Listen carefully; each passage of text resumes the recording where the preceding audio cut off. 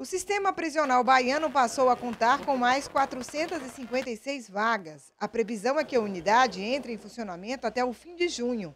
A administração do presídio vai ser feita por uma empresa privada, em um sistema chamado de congestão. O modelo tem mostrado eficiência na ressocialização dos internos.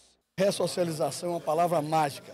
A possibilidade de você devolver à sociedade uma pessoa que cometeu crime, tendo capacitação ou, ou, conhecimento de um curso e poder voltar à sociedade melhorada. A Bahia conta atualmente com 8.500 vagas em presídios. O governo do estado pretende construir outras 11 penitenciárias. Os novos equipamentos vão ampliar o sistema prisional em mais 4.500 vagas. Já temos outros presídios programados, como de Vitória da Conquista e de Barreiras, então a gente tem ampliado e temos um grande presídio para fazer na forma de PPP na região em torno de Salvador, não em Salvador, e com isso a gente vai estar ampliando bastante o número de vagas. Nesse caso aqui, são aproximadamente 456 vagas que nós temos numa condição seguramente muito melhor do que presídios mais antigos que não estão adequados, inclusive com oficina, com sala de aula, dando dignidade àqueles que estão condenados pela lei